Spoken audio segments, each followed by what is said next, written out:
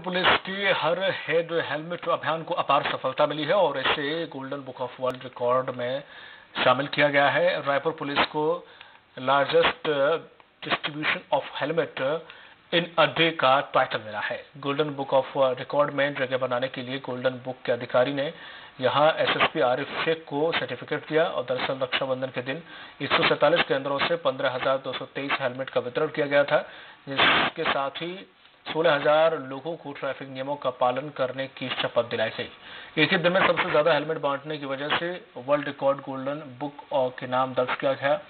Circuit house में आयोजित इस कार्यक्रम में हर हेड होगा हेलमेट। अभियान में सहयोग करने वाले यहाँ स्टैक होल्डरों और मीडिया से जुड़े लोगों को भी सम्मानित किया गया। इसमें स्वराज एक्सप्रेस को भी सम्मानित किया गया। इसके अलावा अभियान के अंतर्गत हेलमेट पहनकर सेल्फी खींचकर भेजने वाले को भी रायपुर पुलिस ने सम्मान किया।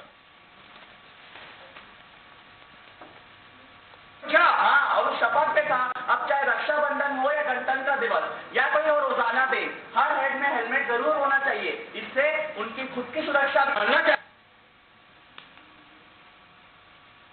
तो India Book of Records Asia Book of Records और वर्ल्ड बुक ऑफ़ रिकॉर्ड्स।